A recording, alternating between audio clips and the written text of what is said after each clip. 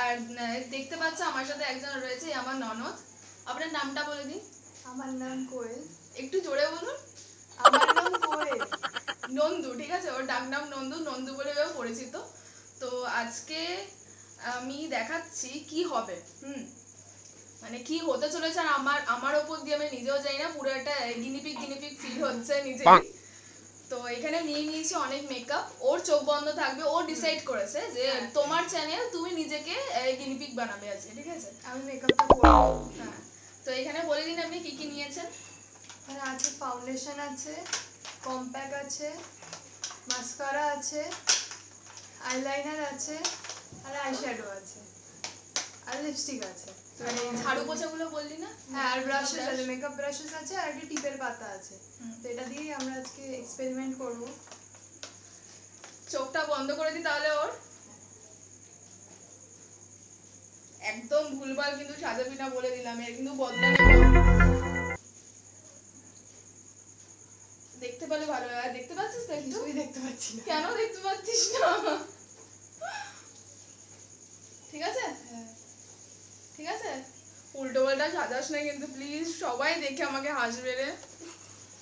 আচ্ছা আমি একটু ঘুরে যাই। হ্যাঁ আমিও ঘুরবো। দেখা যাচ্ছে হ্যাঁ হ্যাঁ তোকে দেখা যাচ্ছে খুব ভালো। করে আমাকেও দেখা যাচ্ছে। আমি কেটে যাব? না। এবার স্টার্ট করি তাহলে। আচ্ছা আমি তাহলে নিয়ে- নিয়ে নিচ্ছি তোর সুবিধার জন্য আমার কাছে। হুম। তো প্রথমে? প্রথমে যা ইচ্ছা যেটা পাবি হাতে দেখ কোনটা পাস। ফাউন্ডেশন এই এটা ফাউন্ডেশনই তো হ্যাঁ ফাউন্ডেশন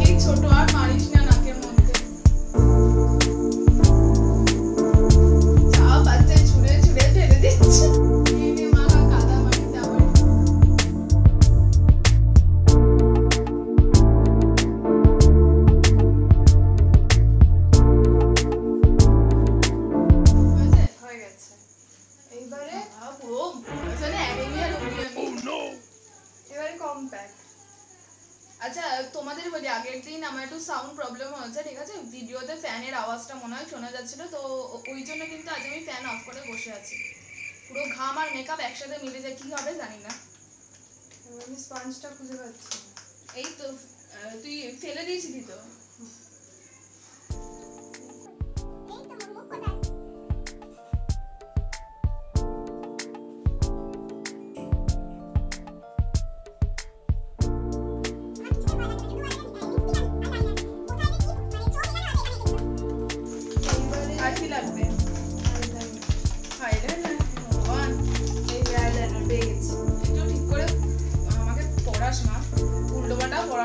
আচ্ছা যেগুলো হয়ে যাচ্ছে আমি সাইড করে দিচ্ছি, ওর সুবিধার জন্য। নাহলে আবার হয়তো আমার মুখে লেপে দেবে।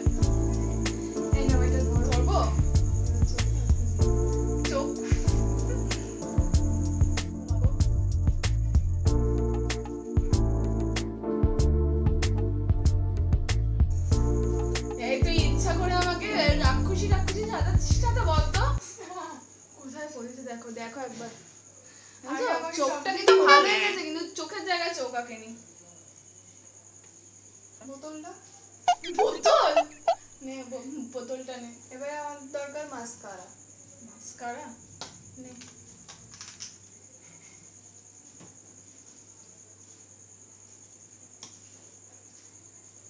চোখ খুলবো না বন্ধ করব? কি করব? কোথায়? দে এটা দে আমার কাছে দে তুই আমার মুখটা ধর। এই তো হ্যাঁ।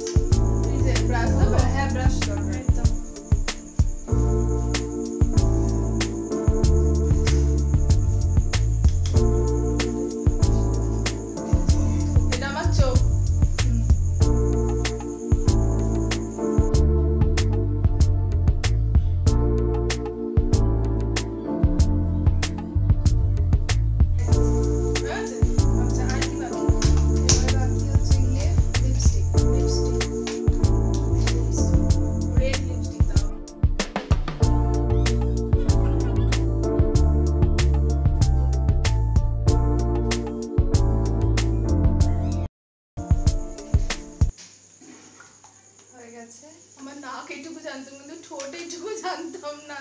কন্টুরটা বাকি দিবি না? আগের দিন তোমাদের দেখেছিলাম না এই কন্ট্রোলটা? আজকে ও মানে আমার আমার মুখের ওপরে এক্সপেরিমেন্ট করবে।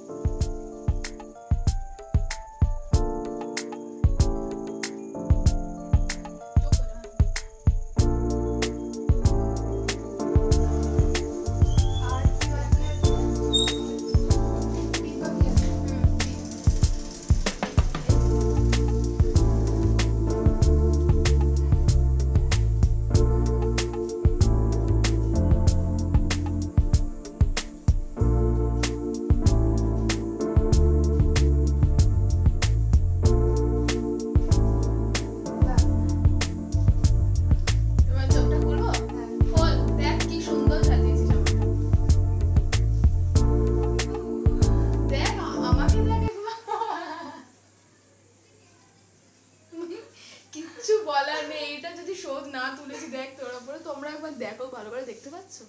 সারা মুখে মনে হচ্ছে তিল হয়েছে আমার তারকা রাক্ষসী। মানে কারোর রক্ত চুষে এসেছে লিটারালি মনে হচ্ছে। আর চোখ চোখটা দেখো। টিপ দেখো। তোর ভয় লাগে না আমাকে দেখে? এটা কি করেছি তুই নিজেই জানিস কি করেছিস? আর দুটো দাগ থাকলে রাক্ষসের আর কিছু না। তো আজকের মতো এটুকুই আমি যাই কন্ট্রোলটা কিন্তু ভালো করে কন্ট্রোলটা হেভি করে দিয়েছি দেখ মুখটা পুরো একদম সরু হয়ে গেছে পুরো চৌষা তাহলে আজকে এইটুকুই থাক ঠিক আছে আমি গিয়েই